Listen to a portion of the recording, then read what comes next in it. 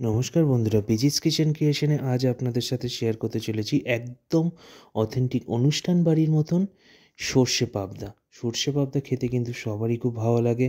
Basically অনুষ্ঠান বাড়িতে তো একদম যেরকম অনুষ্ঠান বাড়িতে তৈরি হয়, সেরকমই খেতে আমাদের খুবই ইচ্ছা করে বাড়িতে করে খেতে। তো তার জন্য আপনাদেরকে আজ এই রেসিপিটা শেয়ার করতে চেয়েছি চলুন রান্নাঘরে দেখা যাক রেসিপিটা তো এখানে আমি পাবদা মাছগুলোকে হলুদ আর নুন দিয়ে মাখিয়ে নিয়েছি। খুব বেশি বড় নিই যেহেতু আমার বিয়েবাড়ির মতন পাত্র, অত বড় পাত্র নেই। তো আমি কালো সর্ষে নিয়ে নিচ্ছি চার চামচ আর নিয়ে নিচ্ছি সাদা সর্ষে দু চামচ আর পোস্ত নিয়ে নিচ্ছি দু চামচ। আর যদি পরিমাণ অনেক মাছ হয়, তাহলে আপনারা এখানে কাজু বা চারু মগজও ব্যবহার করতে পারেন।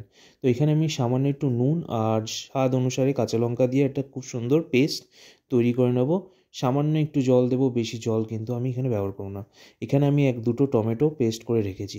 এইবার আমি সর্ষের তেলে মাছগুলোকে ভালো করে ভেজে নেব। আর অতি অবশ্যই মনে রাখবেন, মাছ কিন্তু একদম বেশি কড়া ভাজবেন না, তাতে কিন্তু মাছ ভেঙে যাবে। কারণ পাবদা মাছ খুবই নরম মাছ হয়। তো তেলটা গরম হয়েছে কি না দেখার জন্য আপনারা একটা ছোট্ট ট্রিক্স করতে পারেন। সামান্য একটু নুন দিয়ে দিতে পারেন। যখনই দেবেন নুনটা দেওয়ার পর একটু সামান্য বাবলস উঠে এসছে, তখনই মনে করবেন যে তেল আমার গরম হয়ে গেছে। তো এবার একে একে আমি মাছগুলোকে ভাজতে শুরু করব। অনুষ্ঠান বাড়ির মতন এই মাছ খেতে কিন্তু পাবদা মাছের এই সর্ষে বাটা দিয়ে খুবই ভালো লাগে। তো আমি আপনাদেরকে একদমই চট জলদি একদম ফ্যান্টাস্টিক স্বাদ, একদম অ্যাকুরেট স্বাদের রেসিপি আপনাদের শেয়ার করছি। তো এবার মাছগুলোকে আমি দিয়ে নিচ্ছি। আর মাছগুলো ভাজার সময় কিন্তু খুব সাবধানে, কারণ মাছ ভাজার সময় কিন্তু অনেকটা তেল এদিক ওদিক ছিট করে। সেই জন্য খুব সাবধানে মাছগুলোকে ভেজে নেবেন। আর আরেকবার বলছি, মাছ কিন্তু বেশি ভাজবেন না। পাবদা মাছ খুব নরম মাছ, বেশি ভেজে দিলে কিন্তু ভেঙে যাওয়ার সম্ভাবনা থাকে। তো দু থেকে আড়াই মিনিট ম্যাক্সিমাম লাগবে পাবদা মাছ ভাজতে। পাবদা মাছ ভাজতে কিন্তু বেশি সময় লাগে না।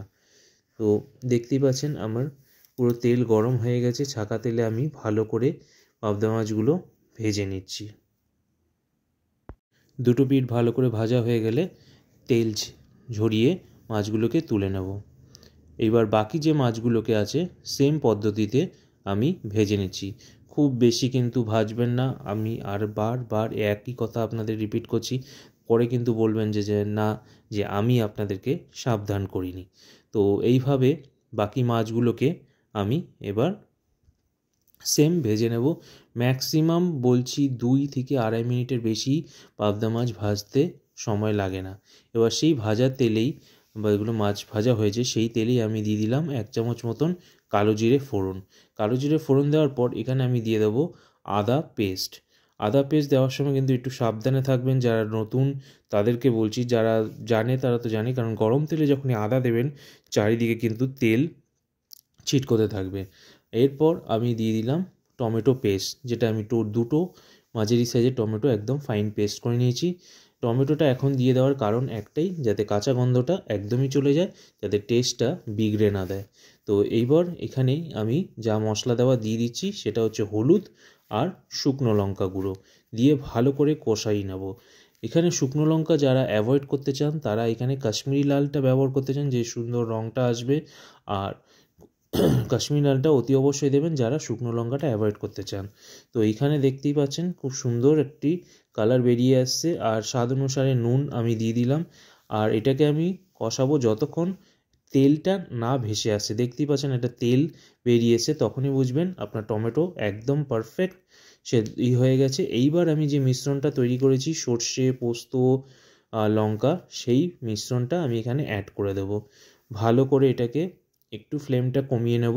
কমিয়ে ভালো করে এই পেস্টটাকে দিয়ে ভালো করে কষাবো এবার। সুন্দর করে মিক্সড করে কষাবো যতক্ষণ না তেল ছেড়ে যাবে। তেল যখনই দেখব তেল ছেড়ে এসছে তখনই বুঝব যে এই পেস্টটা একদম পারফেক্ট কুক হয়ে গেছে। ফ্লেমটা কিন্তু অতি অবশ্যই এই টাইমে কম রাখবেন। বেশি জোরে ফ্লেম থাকলে কিন্তু পুড়ে যেতে পারে আর পুড়ে গেলে কিন্তু টেস্ট একদমই বিউরো অপোজিট হয়ে যাবে। দেখতে পাচ্ছেন কীরকম তেল বেরিয়ে এসছে। তো টেস্টটাকে ব্যালেন্স করার জন্য সামান্য একটু কিন্তু এখানে আমি চিনি ব্যবহার করলাম। আপনারা চাইলে অ্যাভয়েডও করতে পারেন, কিন্তু সামান্য একটু চিনিতে কোনো অসুবিধা হবে না। এইবার যতটা পরিমাণে আপনারা গ্রেভি রাখবেন মানে ঝোল রাখবেন, ততটা পরিমাণে আপনারা জল দিয়ে দেবেন। আমি এখানে সে যে বাটিটাতে আমি মিক্সচারটা তৈরি করেছিলাম, সেই বাটিটা ধুয়ে আমি জল দিয়ে দিলাম আন্দাজ অনুযায়ী। আপনাদের যেরকম পরিমাণ ঝোল লাগবে, সেই পরিমাণ জল। এবার যখনই ফুটে আসবে, তখনই কিন্তু আমি একে একে মাছগুলো এই ঝোলের মতন ছাড়তে থাকব। আমি প্রত্যেকটা মাছ সব কটা মাছ এখানে ঝোলে দিচ্ছি না, কারণ আমার জায়গাটা অতটা বড় নেই। আপনারা যদি বড় কড়াই থাকে, তাহলে আপনারা সব কটা মাছ দিয়ে দিতে পারবেন। না হলে আরেকটি যেটি বিয়ে বাড়িতে, অনুষ্ঠান বাড়িতে পদ্ধতি ব্যবহার করে, পাত্রেতে সুন্দর করে মাছগুলোকে সাজিয়ে নেয়, তার ওপর দিয়ে গ্রেভিটাকে ঢেলে দেয়, আর তাতে খুব সুন্দর মাছটাও ভাঙার চান্স কম থাকে। তো এইবার উপর দিয়ে আমি চিড়ে কাঁচা লঙ্কা দিয়ে দিলাম, এতে খুব সুন্দর একটা ফ্লেভার আসবে, আর খেতেও খুব ভালো লাগবে। সরি এইবার দেখতেই পাচ্ছেন যেভাবে আমি পাত্রটায় রাখা মাছগুলো রাখা ছিল, ওইভাবেও আপনারা করতে পারেন। তো আমি এখানে পুরোপুরি ঢেলে দিলাম গ্রেভিটা। এইবার ওপরে একটু সামান্য ধনে পাতা কুচি ছড়িয়ে দিয়ে কিন্তু রেডি হয়ে গেল একদম পারফেক্ট অনুষ্ঠান বাড়ির মতন সর্ষে পাবদে গরম গরম ভাত দিয়ে সার্ভ করে দিন আর খুব সুন্দরভাবে পরিবেশন করুন। তো আজকের মতন বন্ধুরা বিদায় নিচ্ছি। যদি কিছু ভালো লেগে থাকে, চ্যানেলটাকে সাবস্ক্রাইব করে পাশে থাকবেন, বেল আইকনটা ক্লিক করে দেখবেন, আর শেয়ার, লাইক অতি অবশ্যই করবেন। তো বন্ধুরা, বিদায় নিচ্ছি। খুব শিগগিরই দেখা হবে আরেকটা নতুন ভিডিওতে, যেখানে আরও নতুন কিছু রেসিপি নিয়ে আপনাদের সাথে শেয়ার করব। তো ততদিনের জন্য ভালো থাকুন, ভালো রাখুন। তো শুভরাত্রি।